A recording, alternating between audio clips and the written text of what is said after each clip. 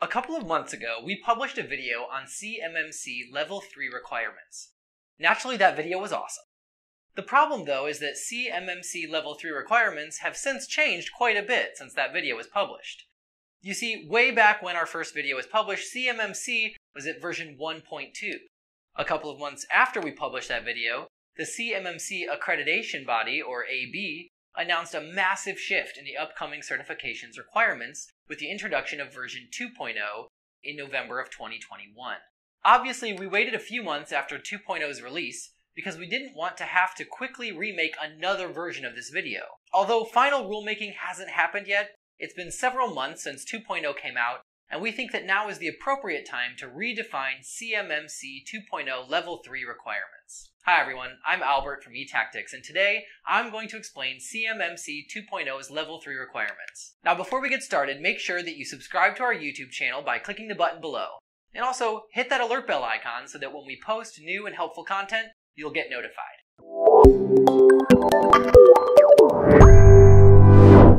Before going through the requirements, I need to explain the biggest systematic change that CMMC 2.0 brought forth. CMMC 2.0 condensed five levels of certification into three. In the older versions, CMMC Level 3 was where most of the defense industrial base was going to land. Any level beyond Level 3 was for the big boys of the DIB. Maybe five or so contractors would have to achieve Level 5. Well, the old Level 3 is now Level 2, and Level 4 and Level 5 are now Level 3. I know that sounds confusing, so let me break it down so that it's a little bit easier to understand. Level 3 of CMMC 2.0 is built on the requirements of Level 1 and 2. You can't just skip right to Level 3 without first providing that you've met every requirement laid out in Levels 1 and 2. Level 1 is the foundational level, 17 practices, annual self-assessment. Level 2 is the advanced level, 110 practices aligned with NIST SP 800-171 triennial third party assessments for critical national security information, and annual self assessments for select programs. Level 3 is now the expert level. 110 plus practices based on NIST SP 800 172 and triennial government led assessments.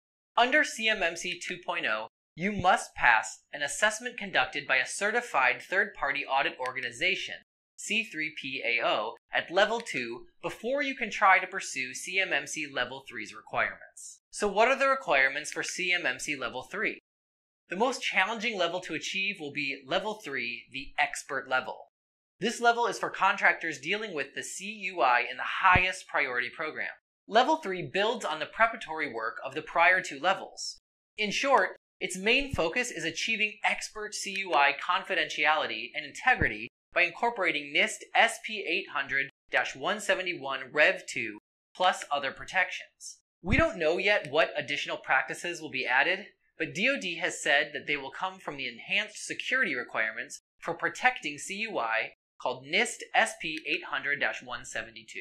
Not super helpful, but what about required CMMC Level 3 controls? Perhaps there is a better chance that your organization might fall under CMMC Level 3 than you may have originally thought. If you're in this camp, then your team probably has experience with NIST NSP 800 171, and hopefully you're already feeling confident about the implementation and documentation of these controls. As we take a look at the anticipated controls for Level 3, there are two statements that will guide our analysis. The Office of the Undersecretary of Defense for Acquisition and Sustainment said Level 3 will incorporate a subset of NIST SP 800 172 requirements. And Ron Ross from NIST said SP 800 172 is in good shape right now, and NIST has no plan to update it in 2022. From these statements, we can conclude that all Level 3 requirements will come from NIST SP 800 172, and NIST does not plan on adding any new controls to that framework this year. That gives us a potential for 35 additional practices and 98 assessment objectives from NIST SP 800 172. The original CMMC model sourced 15 practices from NIST SP 800 171B, which was still a draft NIST publication at the time.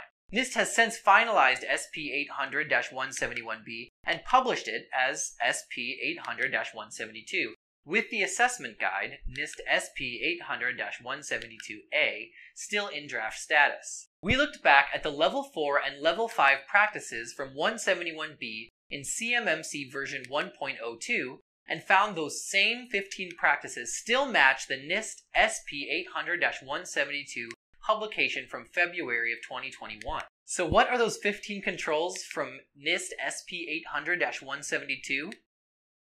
Access Control 3.1.3e, Awareness and Training 3.2.1e and 3.2.2e, Configuration Management 3.4.3e, Incident Response 3.6.1e and 3.6.2e, Risk Assessment 3.11.1e, 3.11.2e, 3.11.5e, and 3.11.7e, Security Assessment 3.12.4e, and System and Information Integrity 3.14.1e, 3.14.2e, and 3.14.6e. There are also other potential practices.